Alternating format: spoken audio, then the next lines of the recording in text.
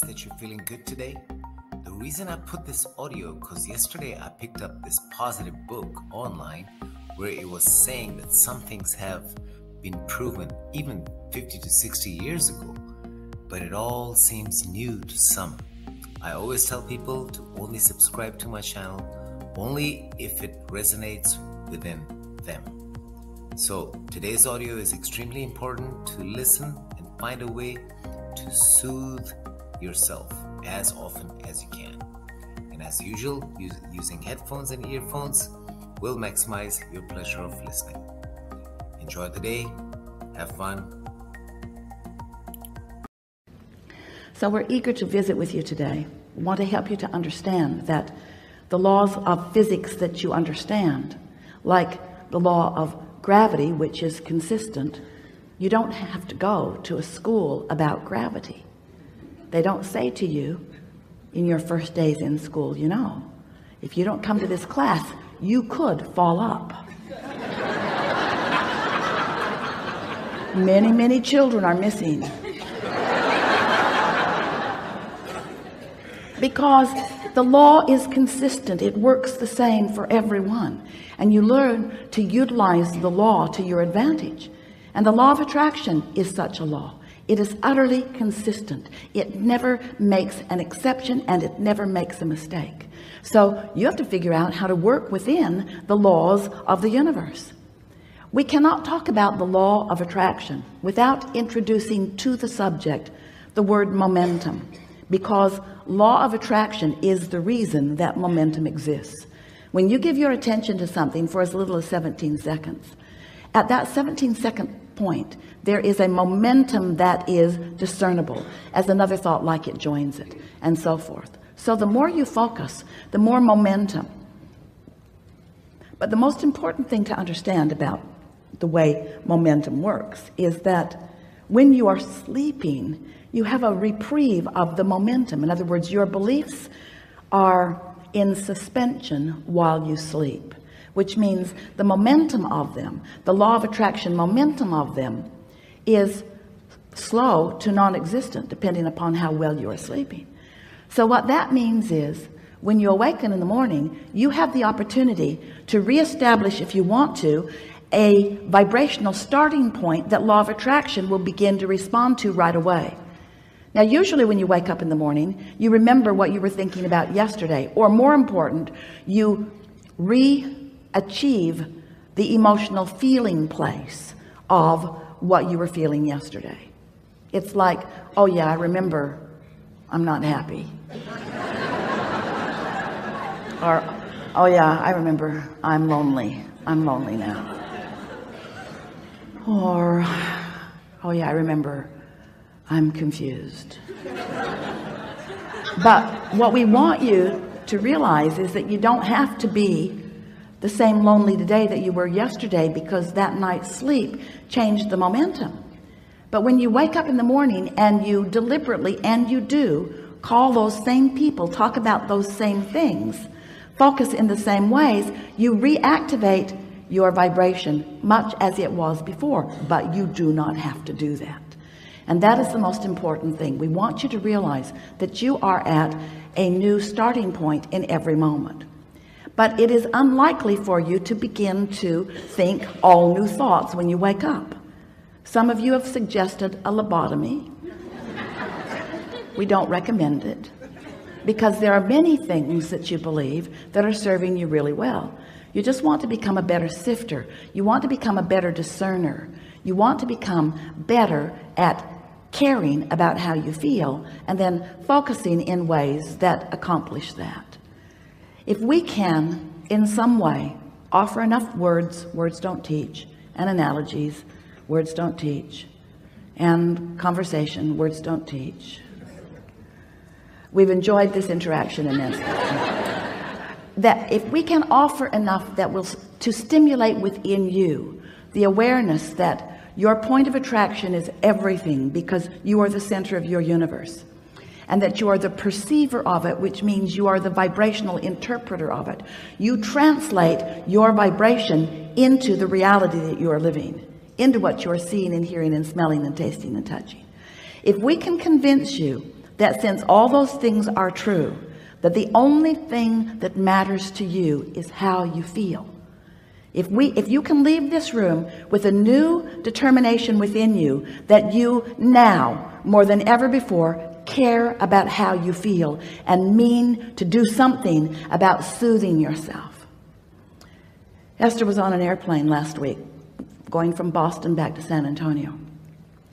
And there was a beautiful family sitting in front of her a mother and a child about six years old and two little twin boys who were about two maybe if even. They were walking sort of kind of talking. And they were all strapped into their four seats. And Esther was sitting right behind the mother. And when the airplane took off one of the little boys across the aisle from his mother was terrified. It was probably his first flight. And the roar of the engine the sound of the machine the feeling of it on the runway he was hysterical. And he wasn't spoiled he was hysterical. He was frightened. It was a new experience and the power of the airplane scared him. His mother and the flight attendants looking right at his mother like do not get out of your seat. Do not get out of your seat. And Esther is thinking if I were that mother I would be out of my seat now. So the airplane got in the air and once it was stable long after Esther thought it was stable. The flight attendant gave her the knowing nod like now now that your child is out of oxygen. So now mother moved over into his seat and held him tight in her arms just tight in her arms kissing the back of his head and holding him tight in her arms. And gradually he settled down back into his knowing that all was well. And Esther watched that and she said to her friend sitting next to her I want to do that with everyone on the planet.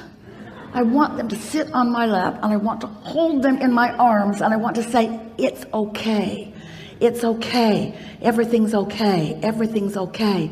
Everything's okay. She wants to do it to herself. She wants to soothe herself into a point of attraction that allows her what she wants and deserves. She wants you to be soothed into a point of attraction that allows you what you want and deserve because that is the only missing factor. How you feel how you feel. If you're terrified if you're angry if you're resentful if you're depressed if you're aggravated if you're overwhelmed those negative emotions are you beating up on you. Now you don't it doesn't feel like that to you. It feels like somebody else is doing it. Esther was pretty mad for a minute at the flight attendant who was just doing her job.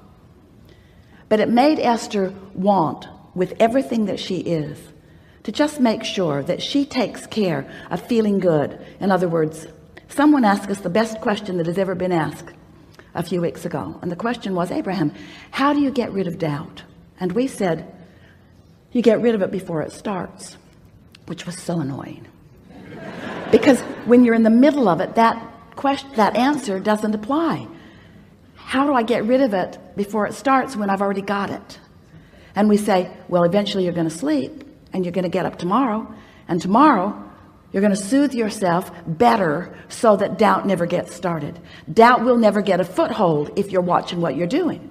So Esther began applying that to herself. She woke up every morning with a determination that she was going to find a good feeling place and that she was going to maintain it as long as she could. And she for the first the first day she didn't even get out of bed before it was too late.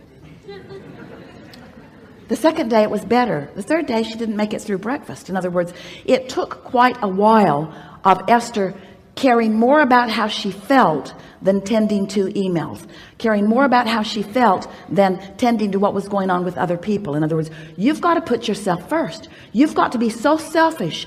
You have to care about how you feel which means you have to tend to the self that you really are. You've got to find a way of closing that gap between who you're being right now and who you really are. And who you really are loves you so much adores you appreciates everything that you are flows constantly to you assisting you in every possible way. Last week Esther came bouncing up the steps and the step wasn't stable. When she stepped on it it caved in and her foot went between the step and the stage. Scraped up her shin. She stumbled onto the stage. It was funny it was it was really funny. And Esther thought for the life of me I do not know how I went down. So Esther has a dear friend who sees energy. She always comes to the seminars in the city where she lives and sits in the back of the room because she not only likes to see the energy around Abraham she liked to see the energy around Jerry when he was sitting at the table and the energy around you. She could see she could actually see who was all lighted up. She knows who Abraham is likely to call on because she can read this energy. So after every workshop she watches all of the live streams. She sends Esther an email and she says yeah Jerry walked on the stage with you. And Esther says yeah I know. I can feel him there. And then she said he caught you last week. And Esther thought that's why I didn't fall down didn't make sense to me. I didn't have my balance. I didn't have anything close to my balance but I didn't go down. This is the thing that we want you to understand. We've got you. But if you're not knowing that if you're mad at yourself then you don't let us get you. You prevent yourself from receiving the inspiration. Do you know when you yawn? That's because you need more oxygen and we yawn you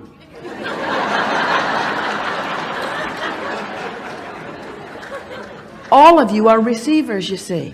How often are you in traffic and you know to do something that prevents something that how many things do you prevent that you don't even know you prevent? So many because you're receiving constant impulses. You are so blessed you are so tended to we are so aware of you and you are so in your own way so much of the time as you're complaining about this and worrying about that. Watching CNN so we want you to know that you are the focal point of so much awareness and that when you ask for something we all know it. And we see clearly the path for you to move from where you are to where you want to be. And you know what? You want it to be a direct path. We don't. We want you to have fun along the way to the path. We want you to pick up more things along your physical trail along the path. We want you to gain more clarity along the path. We want you to continue to feel your vortex full of more things that you want along the path. Because you know why? It's a very long path. You know why? It's a path of eternity. So you keep being in such a hurry to get over there. I really want to be over there I'm not happy over here. Then you're not ever going to get over there. Can't get over there can't get there from here. If you're unhappy over here about what's over there that you don't have over here you can't get over there. So what we want you to understand is that it's never about getting over there it's about preparing over here so that over there can come over here where you are. Do you get that? Because this is about law of attraction. This isn't about law of assertion. It's not law of getting things done. It's not the law of pro proving worthiness it's a law of attraction. It's about you finding some way to think some sort of thought to get on to hold yourself on your own lap and soothe yourself. I am a good person and I am doing well and all is really well and it's getting better. And I am figuring this out and things are going my way.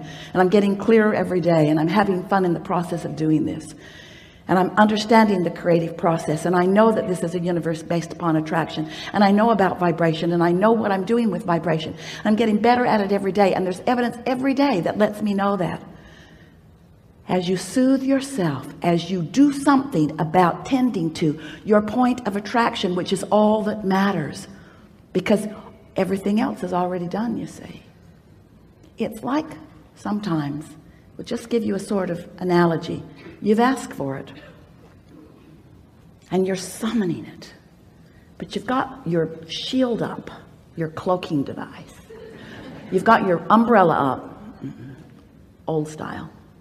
You've got your umbrella up and everything that you want is flying to you but you're deflecting it with your habits of thought with your bogus ridiculous habits of thought like unworthiness or unreadiness or not in the right placeness or or being mad at somebody else